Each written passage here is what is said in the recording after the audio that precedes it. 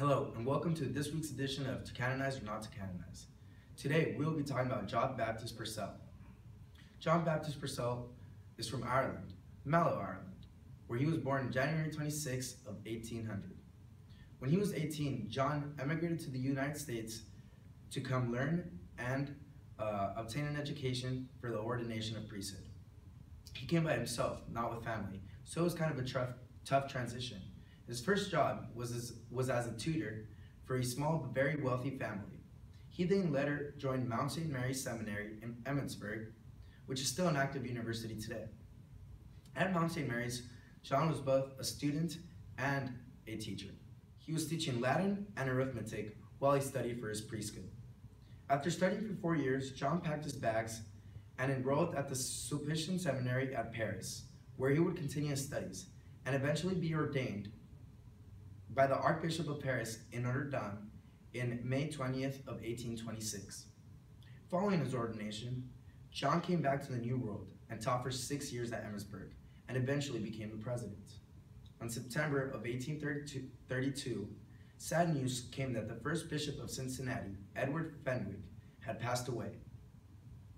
At the time, it was customary to send a list of three nominees to replace a bishop to Rome.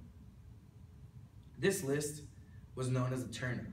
The terna was created by every active bishop in the United States. Purcell was nominated in that terna. On August 2, 1833, the 33-year-old John Purcell was appointed as the second bishop of Cincinnati. Now, this presented a challenge for Purcell, as a majority of the citizens in Ohio were non-Catholics. Coming from Maryland, since Cincinnati's diocese was minuscule compared to the well-established Archdiocese of Baltimore, which was one of the largest and most successful. I found myself badly disappointed on arriving here, Purcell claimed, but the exuberant optimist saw the situation as motivation and thrived. When he first arrived at Cincinnati, the diocese had 14 priests, 16 churches, one school, and one seminary. During Purcell's time as bishop and archbishop of the diocese, they saw incredible change. When Purcell died, the diocese had 480 priests, 510 churches, two newspapers, three colleges, three seminaries, six hospitals, 30 schools, and about 24 orphanages. Purcell did not have an easy time accomplishing these goals. At the time, nativism was very prevalent, and Catholic immigrants flocked into Cincinnati and the Midwest. Now, Protestants and nativists really did not like this, so they did all they could to shut down Catholicism from influencing the popular belief as they thought Catholics were sent by the Pope to overthrow the Republic.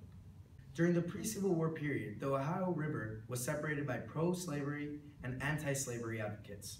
At this time, Purcell was the acting Archbishop of Cincinnati, and just south of the river, there was John Spalding, Bishop of Louisville. Purcell did not believe in slavery and saw it as morally wrong, and he was not afraid to preach his beliefs during those unstable times. Bishop Spalding urges fellow Catholics to maintain a strict public neutrality, as he did not want the church to interfere or go against the state. But Purcell did not take this kindly, and went beyond not only favoring anti-slavery, but he took the Union side during the war. So, Purcell maybe did favor uh, the Union and this man right here, Abraham Lincoln, which, I don't know, might not seem so Catholic, because if you think about it, war, killing people, not the best thing to do. And he was arguing another Catholicism.